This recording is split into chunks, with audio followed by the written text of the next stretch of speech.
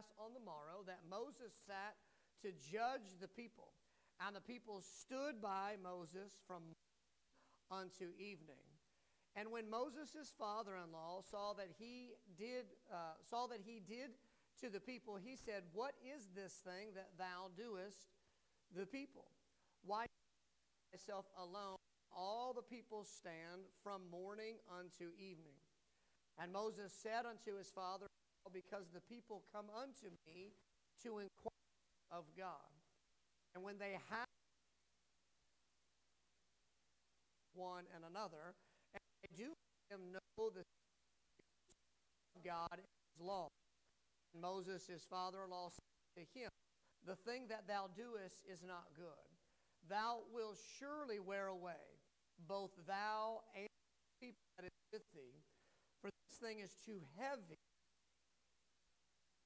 able to perform it thyself alone. Hearken now unto my voice, and I will give be with thee. Be thou for the people to Godward, that thou bring the causes unto God. Thou shalt teach them ordinances the way wherein walk, and the work that must do. Moreover, thou shalt provide of all of the people able men as fear God, men of truth, hating covetousness, and place such over them to be rulers of thousands and rulers of hundreds, rulers of fifties, and rulers of tens. And let them judge the people at all seasons. And it shall be that every great matter they shall bring unto thee, but every small matter they shall judge. So shall it be easier for thyself. And they shall bear the burden this thing, and God command thee, command thee so, then thou shalt be able to endure, and all of this people shall also go to their place in peace.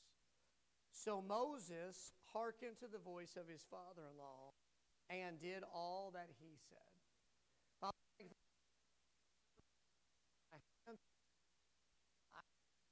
tonight be an encouragement but we do need support. We do need to encourage. We do need people to share the burden, workload, uh, to encourage one another. So I pray tonight we see the scripture, it will be an encouragement, uh, maybe a challenge in our lives, that we would be willing to apply that in our lives. And may it be said here at Anchor Baptist Church that this of people that truly have a, a vision to want to strengthen one another, strengthen Lord. I pray that you'd bless. In Jesus' name we pray. Amen. Thank you for standing. You can be seated. Now, obviously, Moses is a man that is called of God, and he has a purpose. And what is that? Is to lead the nation of Israel. So Moses, if you think about it, and you look at that, would be quote unquote the president or the leader for that entire nation of Israel. So his calling, his job, his duty is to be able uh, to lead them. He's the one that's supposed to be teaching them the laws and the ordinance from, from God, but he's also at the same time the one who's judging the matters or the, uh, let me say, the problems that pop up. He's the one that between the two will judging and making the decisions for them. And he is not God called, but realize that God also provided for him person in the beginning. You remember when he was discussing those things, and God gave him Aaron to be a help to him. So there was an expectation that he would not be by himself, but he would understand that God would provide and also use people to provide for Moses throughout his time. And here's a situation where that pops up. And his father shows up on the scene and he's watching all of these things happen and he's watching and considering and watching and then he confronts Moses the father in law sees, recognizes that there's a situation. I'm not going to say that it was a flaw. I'm not going to say that it's even a mistake.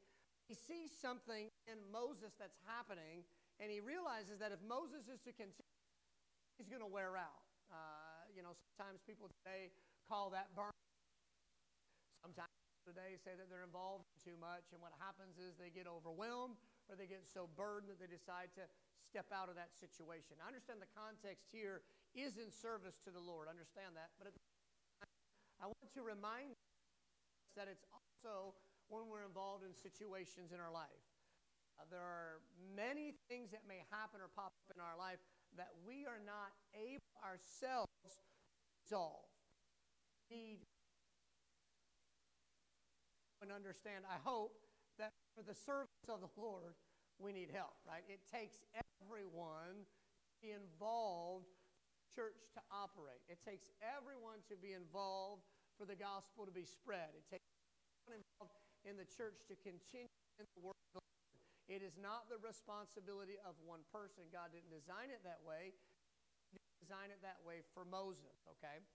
So Moses is there. He's doing what God's called him to do. He's being the leader.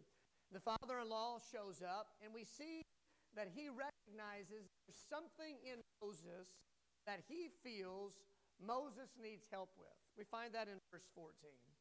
And when Moses' father in law saw all that he did to the people, he said, What is this thing that thou doest to the people? Why thyself alone, and all the people uh, stand by thee from morning until evening. So what's happening is all day long. So I don't know the time that Moses would get up. Let's just, for the sake of an illustration, say that he would get up at four in the morning, coffee, right? Prayer time, talk, communicate with the Lord, and then at six o'clock he's sitting, and then the coming to him and coming to him and coming to him. He's making decisions, and he's giving God's commandment, and he's judging people, and he does this all day to the evening. Let's just say that he sits uh, at that chair at 6, and maybe he stays all the way to 6 in the evening, 8 in the evening. When he gets done, goes back home, eats his meal, hits the rack, gets up in the morning, and he does it again. The father in law looks at that and says, Hey, if you continue that. And not only are you yourself going to wear out, but these people also are going to wear out. So, for you to continue to do what God has called you to do, you need to understand that there is some help or some support that can be given. Now, I'm thankful that his father in law was attentive to what Moses was doing. There was no jealousy. There were some people before that had jealousy, and God punished them. Um, there was no looking for fame. There was no self anything. He saw Moses and recognized he needed some support. Now, his father in law is going to give a suggestion, a way to help him. Now, Moses, now let me just show you where out, verse 18. Moses' father-in-law, the thing that thou doest is not good, and thou wilt surely wear out both and this people that is thee. For this thing is too heavy, too heavy for thee. Thou art not able to perform it thyself alone. Okay? I know I said that before, but I want you to see the scripture itself. So Moses, if he continues, is going to wear out. So the father-in-law gives a suggestion, maybe you can even say gives him some counsel, Moses to be able to get the help and the support that he needs. Just want to pause for a second. It would be good for us, and I'm not saying that we're being. We're not being nosy. Um, we're not being intrusive, but it be for us to pay attention to one another. I'm trying to think of the best way to say this, right? we should be attention to our, pay attention to or be attentive to our, our family. Understand that. Surely we're attentive to our, understand that. But as a church body, we should be paying attention to what everyone is involved with, not because we're being nosy, not because we're jealous, but because we have a genuine, soft heart concern for one another. And we should be able, and maybe in a little, well, we, what do we call that, you're doing that, you're doing that, you're doing that, you're doing that, right? And we should be able to say, hey, if you continue this way, it's going to happen, right? That want to get involved in that ministry, involved in that ministry, and involved in that ministry. Be careful that we don't stretch too thin, right? Because we also want to be uh, pay a special attention to the ministry that we're. We want to be able to give 100% to the ministry that we're involved or with. And sometimes, if we're involved in three, four, five, and then what we're going to do, we're going to cheat or short the other ministry. And God wouldn't want that? Now, I understand there are times that we have to take on those things for uh, whatever different reasons. Maybe a person's sick or in the hospital or uh, on vacation or whatever that may be. I understand that.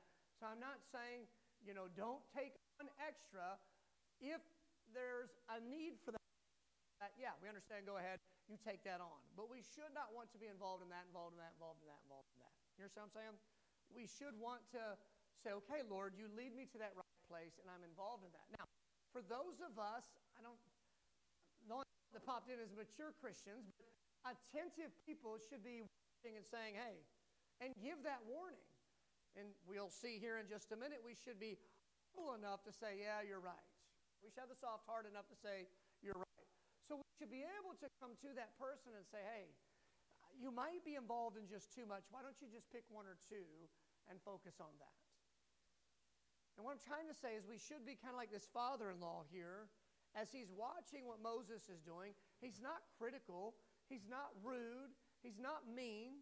He presents him and says, Hey, if you continue this thing, you're going to wear out. Let me give you a suggestion, and we'll see here in the Bible that it is a godly suggestion. It is not from man, but it is focused on biblical principles.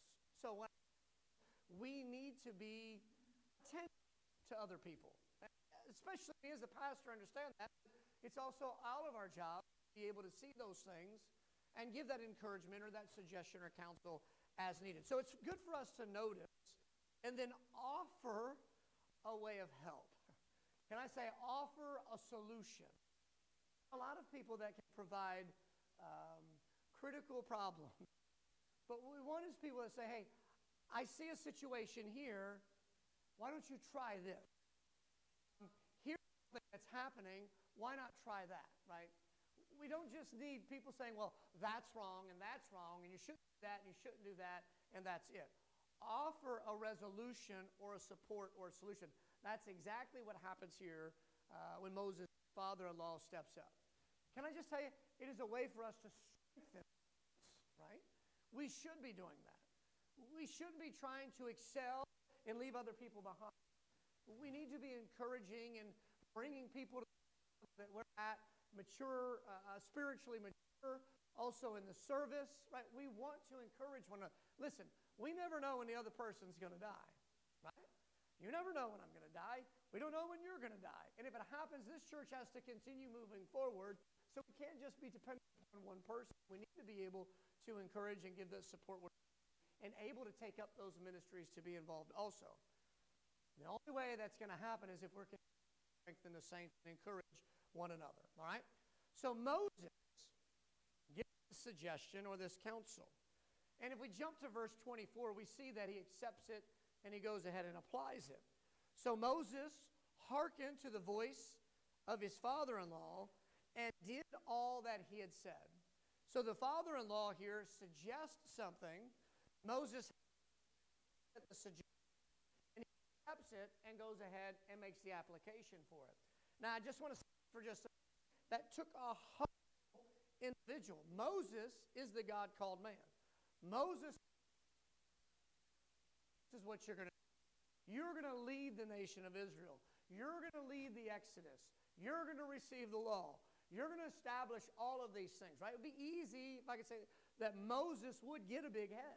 It would be easy for Moses to say, I'm the man. But he's not. He's a very, the Bible calls him the meekest man on the earth, right? He understands the authority, he understands the responsibility, but at the same time, he's very humble and to the leading of the Lord in his life.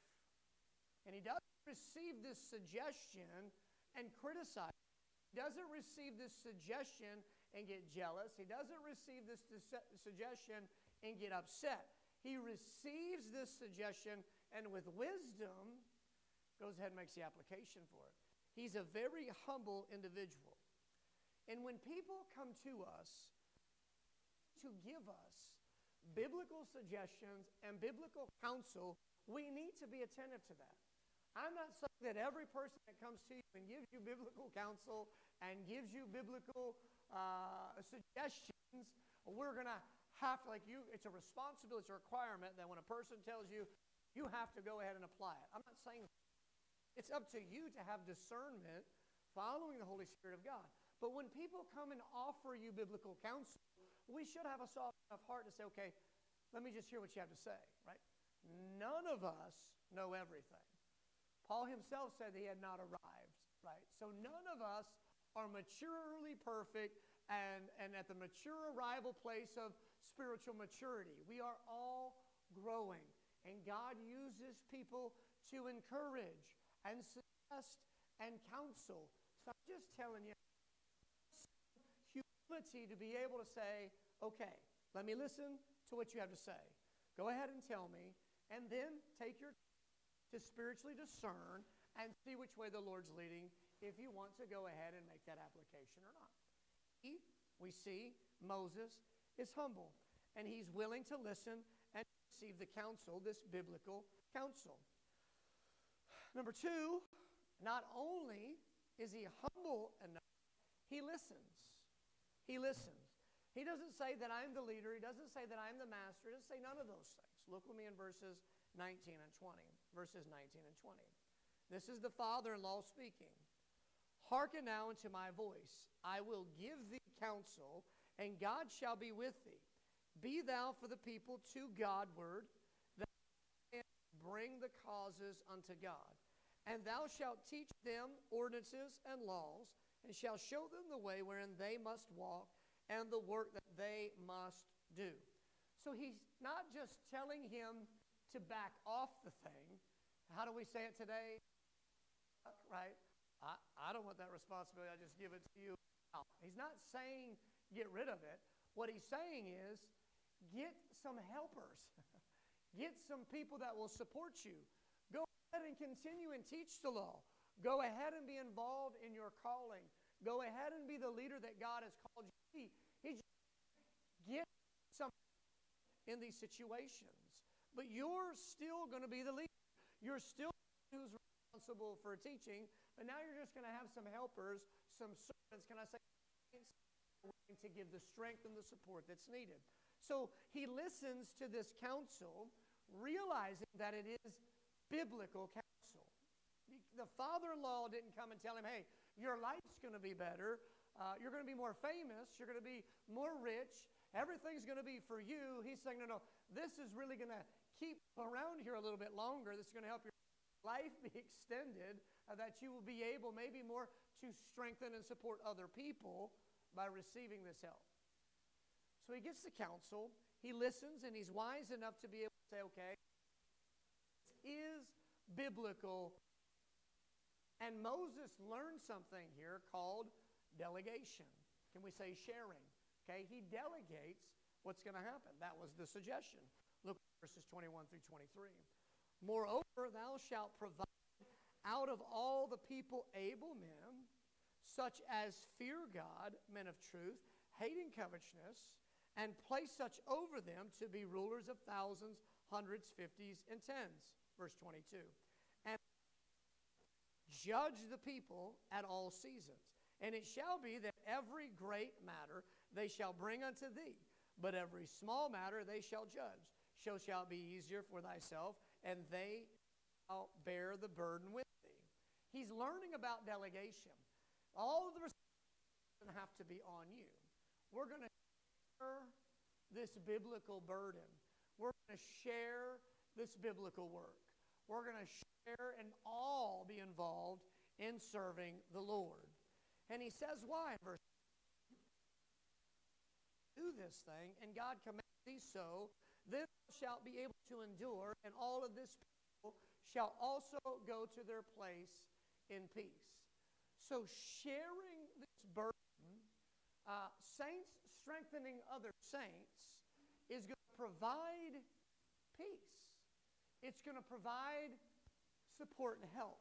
It's going to provide encouragement. So he learns to delegate. We need to understand that we cannot do all of the work of the Lord alone. It takes multiple people. It takes all of us to be involved. Now, there's a requirement I want to say a qualification, but there's a criteria for the kind of people that are going to be involved in this thing. Um, well, let's just look at it. Go to verse 21. I want you to know something else before we read verse 21. He said there are going to be rulers of thousands, rulers of hundreds, rulers of fifty, rulers of tens. Tell you is that when suggestion or counsel was given to Moses, the Israel received what Moses told them. In other words, he's going to have a person and put him up and say, You're going to rule a thousand. And as he picks another person, set him up, and you're going to be a ruler of ten, right?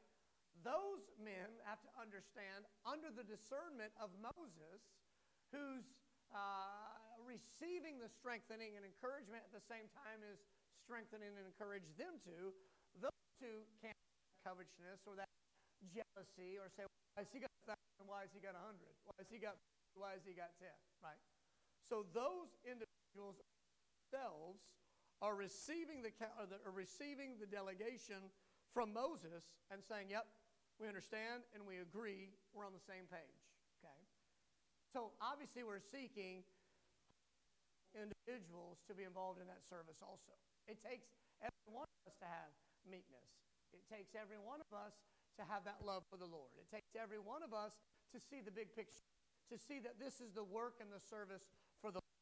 And provide who's in leadership position the opportunity to let them make those decisions that need to be made and puts those people in place. And that's exactly what they have done.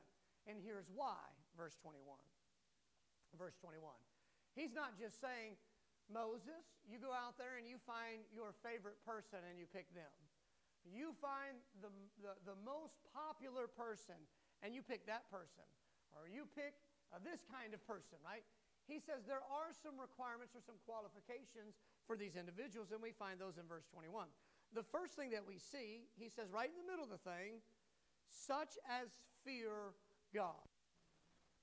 So the father in law tells him, hey, we need some God directed people, okay? The work is for the Lord. And when you decide to go ahead and put these people in place to serve, they, number one, have to be God fearing. They have to have a, a reverence and a respect to God. They have to have a love for God. They have to realize that God's on the throne. They have to realize that God's in control. And they have to have a focus upon Him. We're not just going to put the people in a place that could ruin other people or that could influence uh, to go people to say, well, God's nothing doesn't matter. This is for my my I'm going to put those people in a place. Find people that have a fear of the Lord. I'm not saying a trembling the Lord. We're saying a reverence and a respect to God. You're God, and I know who you are, and I know that you're in control. And I don't know if I get involved in some things, there's a punishment coming. But I also know that you're an all powerful and merciful and mighty God. And He's looking for people He's going to put into place to help share this burden for the Lord that have, I'm just going to say, a heart for God. They're God fearing people. They have a reverence and a respect for God. Why is that? So that they might judge justly. Can I say for today? They might influence or provide counsel according to Scripture, right? If I'm not a God fearing person, then I'm not going to preach what I think is right or how I feel. Being a God fearing individual, I reverence and respect God, and I know and understand that the preaching from this pulpit needs to be from the Word of God. Why is that? Because it has to be God fearing. And if the individual themselves don't care about God, then they don't need to be put in place to that Moses is bearing. So he suggests we need to find some God fearing people, some godly people involved in this. The second thing he says is men of truth. Men of truth. These are not men that are trying to convince people, are not trying to deceive people, are not trying to get people on their team. right? Uh, what we call that today? Yes men. Right? We want people to say, whoa, whoa, whoa, that is not according to Scripture. Hey, Pastor, that doesn't, uh, there's no principle for that in the Word of God. What do you mean you're saying that? Or, teacher, you're just teaching something from the world. That is not coming from truth. We don't want people uh, sharing the burden and the work of the Lord that are liars, right? Or not involved in truth. Now, here I believe what they're saying is that honest, just, and right. They were able to make discernment. Yeah, they're not able to be bribed. They're not able to be won onto their team. These are people that are in truth. They're truthful in themselves. And I also believe there's a principle that can be added uh, that we should involve the Word of God. So these kind of people are God fearing, the truthful men, so that there will be a correct judgment. And then notice what it says after that hating covetousness. They don't just say that covetousness is a sin, covetousness is wrong. These people just that you need to pick to help share this burden need to be people that hate covetousness. In other words, there's no way possible, I understand, without uh, the grace of God, but there's no way these people are going to come to them and say, hey, look what I have. Let me just make a, a application. Sometimes I hear about churches um, where people who tie the whole lot of money have a bigger say in the church. That could be involved in this covetousness. The pastor might say, ooh, if I compromise for him, then he'll stay, the finances will be there. Okay? We need people that are placed in charge aren't covetous. They're not looking for something that they don't have. They're content therewith and they're focused on the Lord and they understand that God's going to provide. Why would that be important? Because these people are coming to them for judgment. Moses before judged them. God knew that Moses and Moses himself had developed himself to be a place of covetousness. And now he's putting people in place that are going to take place for him or that load or share that load with him. Therefore, Moses wants people that are sitting on these thrones of judgment not to be able for them to be, ooh, right?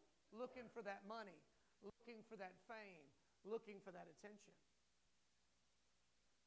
So he says we're not just looking for men that dislike covetousness or understand that covetousness is sin, but we're looking for men that are content and hate covetousness. They're complete any unjust gain. They're not going to take advantage. They're not desiring things that are not there already given to them.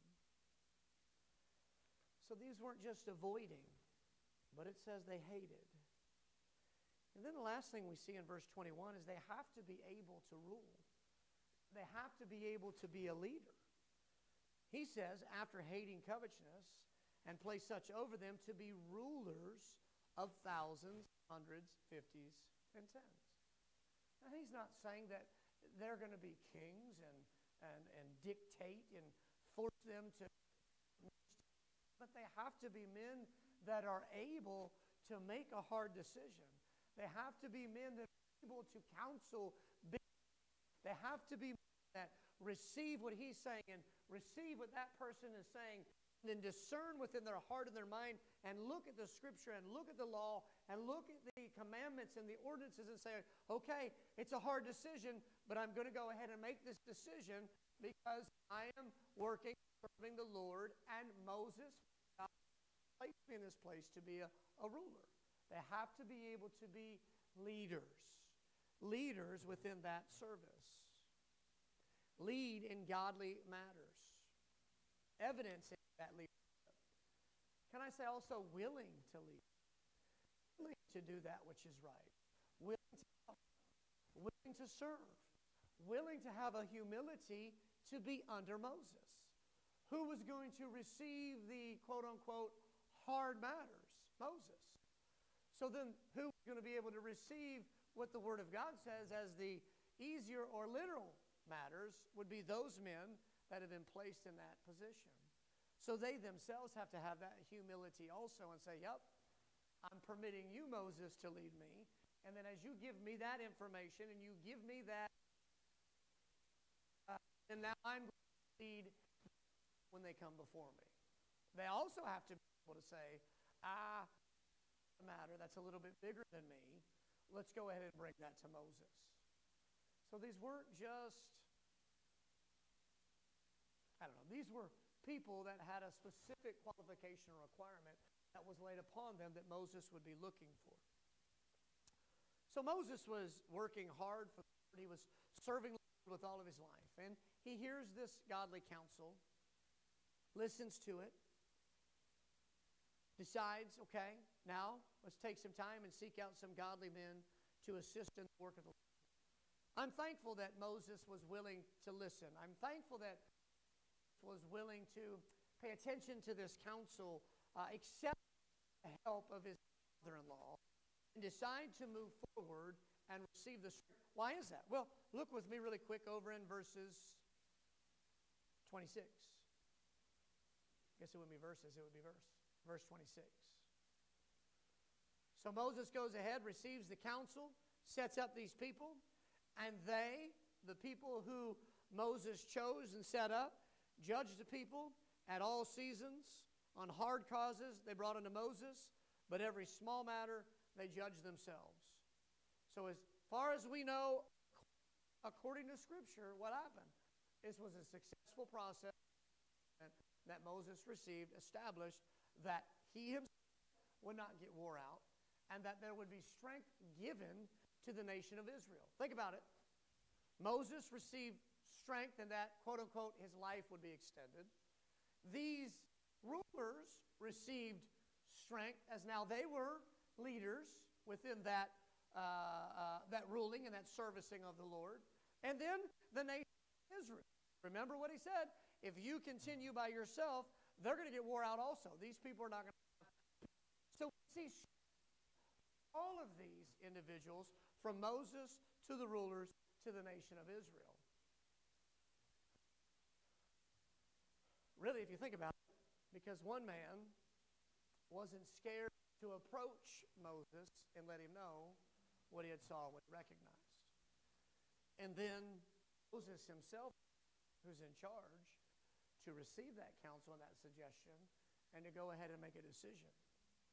And others who were willing to submit to the leadership of Moses as well as receive the authority that Moses would give to them to make judgments in the matters of those people.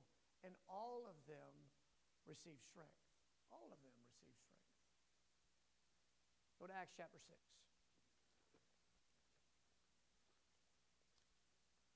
Acts chapter 6.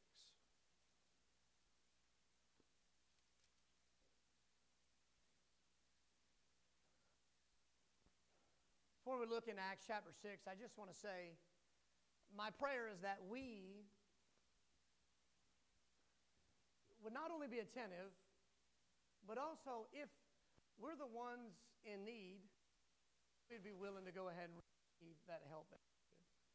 That we wouldn't be stubborn. We wouldn't be hard hearted. We wouldn't be too haughty minded or too prideful. Sit down and say, okay, give me. So that's moving for the gospel of Jesus Christ and moving forward in our service for and if we're the other person that people come and tell us uh, I'm sorry if see that may provide biblical, I'm going to say that again, biblical suggestions, help, and counsel. Don't just criticize. Don't just um, always point out the negatives or the faults. Give some resolution and some solution, some help in the matter. In Acts chapter 6, here we have the early church of Jerusalem. We know that it's growing, it's huge. And there's some widows that haven't of, and there's some complaining that's happening. And it comes up to the apostles. Pick up with me in verse 2. So when this situation pops up, verse 2, then the twelve called the multitude of the disciples unto them and said, It is not reason that we should leave the word of God and serve tables. Now, the apostles really here, I believe, are saying, okay, this is a situation that we're going to have to be in with. We're not complaining. We're not saying it's for us. But really, what they're suggesting here is that if we continue in that, then it's going to quote unquote steal us from verse 3. I'm sorry, verse 4. But we will give ourselves continually to prayer and the ministry of the word. So, taking care of this situation that popped up, lessen their time in prayer and the ministry of the word of God. Not saying it's over them. They're not saying that we don't want to be servants. They're not saying that we don't want the job. Continuing that, steal from this. What they're saying is, we need some help. We need some support. Okay. And so he tells them, or they tell them, or make the solution, the suggestion, or the counsel at that time, some assistance or some strength from saints. And he tells them in verse 3 Wherefore, brethren, look ye out among you seven men of honest report, full of the Holy Ghost and wisdom, whom we may appoint over this business. So, really, what we see is an illustration of what happened in Exodus with Moses, right? He's running the nation of Israel. I understand that that's not a church, but he's running the nation of Israel, realizes from his father in law that he is going to get wore out, decides, yep, you're right. I'm going to humble myself and say, okay, give me the help that I need. Here we see this application in the church. There's a church is growing. They're missing some things. And they say, some support. We strengthening from other saints. Therefore, find seven with some requirements. We're not going to uh, expound on them, but of an honest report full of the Holy Ghost. Can we just say those that reverence, that are God fearing, those that would hate covetousness, those that would be willing to be involved in the ministry and the work of the Lord. He says, You go and find people that are willing, I'll say surrendered and submitted to the work of the Lord. Four, that there could be some provided for the widows, so that there could be some provided for the disciples continue in the ministry and prayer. There could be some strength given to those seven men. They would now take up some of the responsibility to share the burden in the service of the Lord. And look at the result in verse 7. It says, And the word of God increased and the number of the disciples multiplied in Jerusalem greatly, and great company of priests were obedient to the faith. So, by delegating, sharing this burden, uh, helping one another, what happened? It grew. The Word of God increased. There were more disciples added. What's that mean? There were more people that were saved and that were focused on the teaching of the Word of God. In other words, now instead of having 12, you had 19 people that are involved in helping the support of the work of the Lord. The disciples recognized it, suggested it. The seven men would submit to the leadership of those 12 and accept the responsibility to move forward help in the service of the Lord. And the result, more people got closer with the Lord. More people were walking with the Lord. More people were encouraged in the Lord. More people were strengthened. They were strengthened because of other saints. So the result of seeking help, the result of people suggesting help, the result of uh, humbling ourselves to say, okay, you're right, Thank you for the scripture. Help me to discern in prayer and making the decision to move forward with those suggestions or apply that godly counsel. The result of that would be a closer walk with the Lord, a stronger work. If this church only put all of the responsibility on one individual, imagine how reduced the work of the Lord would be. Right? It takes one of us. I think the best illustration of that is if you were to read 1 Corinthians chapter 12. It takes every body part for this body to function, right? If you lose a finger, or you lose a foot, or you lose an arm, or you, you can't lose a head, but you lose a, a, a knee, right? Slow down. The, the work doesn't increase, it decreases, right? There's a struggle. When the back hurts, or the, the toes hurt, or the legs hurt, right? You're not able to lift as much. So we understand this body needs free part to function at 100%, right? Apply that. First Corinthians does, applies that to the body of Christ, the church, the local church. It takes every one of you to be involved in the service of the Lord for this church to have the strength that it needs. How is that done? Saints strengthening saints. Saints, people that are saved, involved in the work of the Lord, sharing the burden. So if you notice that's too much, maybe you're that person. Maybe you're that person that they come and talk to. Don't be offended. Don't be so hard headed. Listen to what they had to say. Bring it to the Lord in prayer. Have discernment when you make the decision and move forward, right? Be that person who's full of the Holy Ghost. Be that person who has a fear of God. Be that person who's subjected to the authority of the Lord. Be that has humility and a willingness and a readiness to serve. Moses and the nation of Israel saw a great because of that suggestion. Here we see the early church of Jerusalem would improve and increase in their work for the Lord. People would be saved. And all of that, why? The background of that, or the point, is that there were saints that were willing to strengthen other saints. There were people that were willing to support and help other people. That's the thing there.